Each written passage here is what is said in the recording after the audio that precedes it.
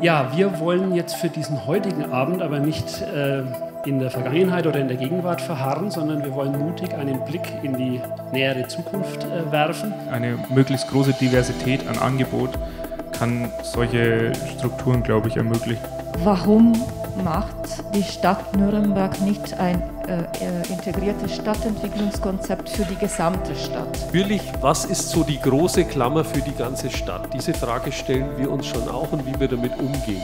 Dass wir einfach so neue Experimente auch wagen müssen würde es sofort, wenn ich jetzt äh, Diktatorin wäre, nicht, äh, dann würde ich sofort sagen, Autos raus, nicht? Und ich glaube, das ist das Rezept, Ideen zu entwickeln, die dann auch gemeinsam getragen und gegangen und auch finanziert werden können.